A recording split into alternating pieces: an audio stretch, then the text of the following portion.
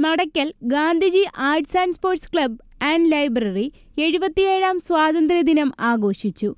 വർണാഭമായ ഘോഷയാത്രയ്ക്കൊടുവിൽ പൊതുസമ്മേളനം നടന്നു.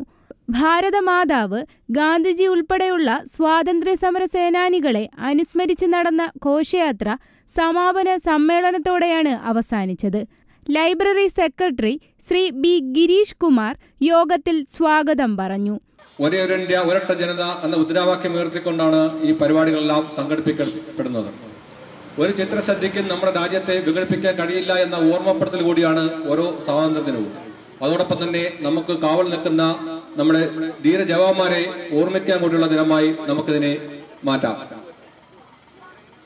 രാജ്യത്തിന്റെ മതമൈത്രി സംരക്ഷിക്കുന്നതിനും രാജ്യത്തെ മുന്നോട്ട് നയിക്കാൻ പ്രാപ്തിയാക്കുന്നതിനും വേണ്ടിയുള്ള പ്രവർത്തനങ്ങളിൽ നാം ഓരോരുത്തർ ഏർപ്പെടണം. അതിന് വരും തലമുറയെ അതിനെ പ്രാപ്തരാക്കുക എന്നുള്ള കർത്തവ്യമാണ് Nadakkal Gandhiji arts sports club library ഇന്ന് ഏറ്റെടുത്തത്.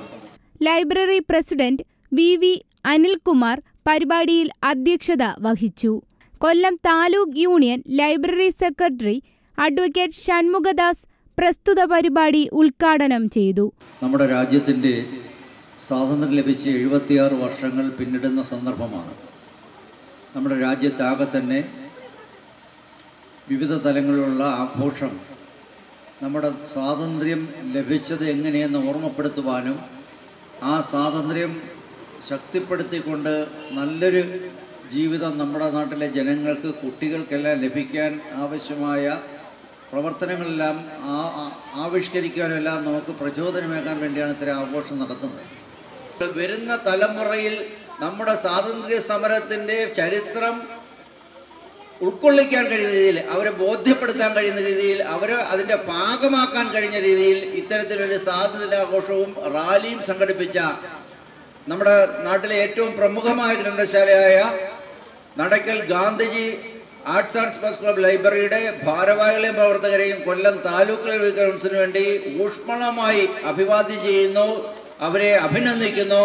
ഇതിൽ പങ്കെടുത്ത മുഴുവൻ കുട്ടികളെയും കൊല്ലം താലൂക്ക് ലൈബ്രറി കൗൺസിലിന് വേണ്ടി കൊല്ലം താലൂക്ക് ലൈബ്രറി കൗൺസിലിന് വേണ്ടി ഊഷ്മളമായ അഭിവാദ്യങ്ങൾ അനുമോദനങ്ങൾ അർപ്പിച്ചുകൊണ്ട് ഞാൻ എന്റെ വാക്കുകൾ നടത്തുന്നു ഈ സ്വാതന്ത്ര്യ ദിനാഘോഷമായ ഈ സമ്മേളനം ഉദ്ഘാടനം ചെയ്ത് അറിയിച്ചുകൊണ്ട് വിടവാങ്ങുന്നു.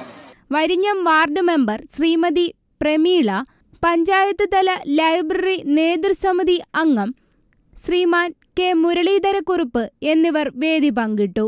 ബാലവേദി കൺവീനർ അനന്തു രംഗുദാദ് കൃതജ്ഞത അർപ്പിച്ചു പാഠപുസ്തകങ്ങളിൽ നിന്നുപോലും വെട്ടിമാറ്റപ്പെടുന്ന ഇന്ത്യൻ സ്വാതന്ത്ര്യ ചരിത്രത്തെയും സ്വാതന്ത്ര്യ സമര സേനാനികളെയും വീണ്ടും ഓർമ്മിപ്പിച്ചു നടന്ന ഘോഷയാത്രയും സമ്മേളന യോഗവും വിജയകരമായി അവസാനിച്ചു.